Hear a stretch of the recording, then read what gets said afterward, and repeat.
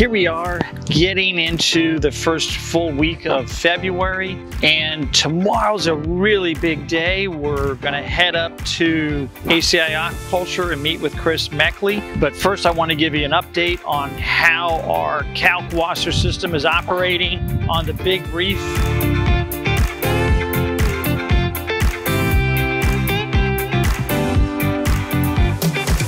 Is looking really good. The automated calc unit has now been properly dosing for about 12 or 13 days as it was originally designed to help facilitate the higher pH. If you look down here, down the length of the aquarium, you'll notice it's super clear. There's a lot of great color in the corals. The camera sometimes makes it a little more blue than it actually is to the naked eye. But let's go inside and I'll show you the trends that are going on. The last time we did the update, we used a full container of kalkwasser that we had from Julian. We're still operating right now, 12 days later, on that same full container. It mixed this morning between 8 a.m. and 11 p.m.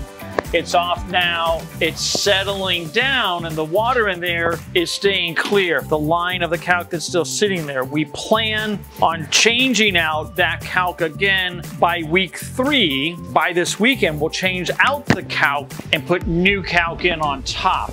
The pH up here, coming out from up there, it gets pulled through the DOS system, is at 12.6 today. It's at a very high pH. So we know the calc is still working working, but through communications with Kevin Berta at TSA and with Chris Meckley, changing out the calc on a regular basis is a, is a good idea depending on what your growth is and your calcification rate in the aquarium. So some of the things that have happened over this last 12 or so day period is that our pH now, today, right this minute, is 8.36 at 3.30 in the afternoon on the 6th of February. And we had on Saturday, we had an 8.35 and then an 8.36. And then on Sunday, we had an 8.36 at 10.30 in the morning and an 8.4. First time ever I've seen that.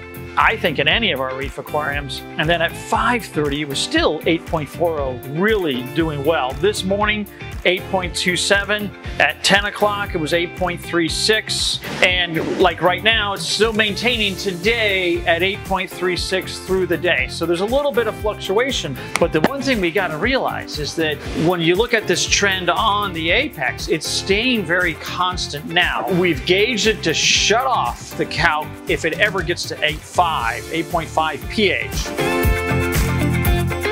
Tomorrow, we're gonna have a great tour. We're going to Chris Meckley's place. We're gonna talk to him about the calc additions, about ICP, and we're gonna get some really cool corals while they're over there. And it's gonna be a really exciting trip for all of us to learn more from another crazy reef aquarist. Go, go, go, go, go, 105! So we made it all the way over to Plant City today to go to ACI. We're gonna go on in and, and find Chris Meckley and see what's going on with his kalkwasser magic. He's got a ton of corals. It's like a coral garden. Will you look at all this stuff? I want that Calastria. I want that Acropora. Oh my God. There's Jake's green Montipora right there. That coral is off the charts. There's coral everywhere. Okay, so Josh, what do you think? There's at least five corals in here. One of those. I want one of these and one of Joleen these. wants more. Let's go talk to Chris. You see my Prince of Darkness hammers? He has Prince of Darkness hammers. Where's the Queen of Darkness? That's who I want to meet. With this blues one and black. They're pretty cool. What did you make up that name?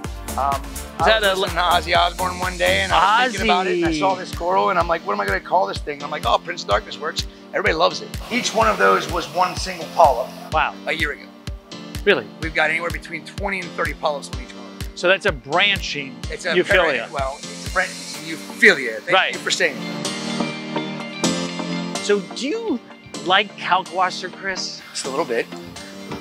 It's the cheapest way to maintain your aquarium. Does it help with alkalinity a little bit? Just a little bit.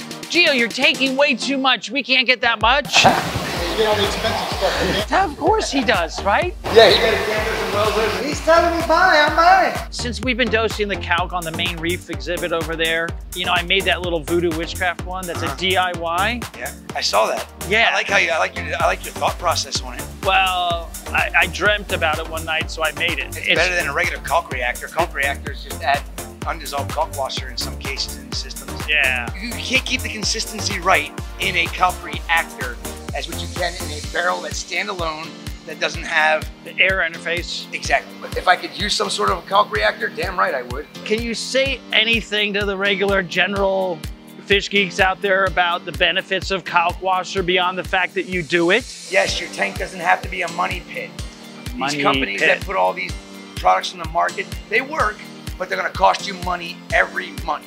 If you wanna go cheaper, but in my opinion, more effective and more efficiently, go with kalkwasser and spend your extra money on the proper equipment to monitor things because it really isn't a hard process, it's easy.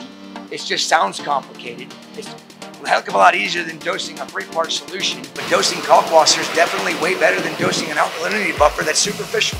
It doesn't stay in solution, and in some cases creates concrete earthworm. Just make sure that you are mindful of all your parameters. Your most important one is pH. I don't care what anybody says, they can tell me that I'm wrong, pH. but they haven't been able to prove it. Don't put that one there. Over, oh, over here. Oh my gosh. I think everybody learned a lot. We had a lot of questions. He had a lot of answers. We left with a lot of answers. We left with a few more questions related to the ICP and minor trace element additions to keep the water more in check for things that could be missing that we don't know. But the one thing I notice when I go back out, the pH has continued to run through the week. It hasn't really been much lower than 8.28 all week, but just the overall activity within the aquarium, the look, the clarity, I think it's dynamic. Like Chris said, you're gonna see the magic happen when you have this stabilized, constant, higher pH through the addition of Kalkwasser on a constant drip basis to maintain a pH. So it's been a really exciting week. We can't wait to see the changes that'll happen with this aquarium over the next four to five weeks. And uh, don't forget to like, subscribe, and send us your questions.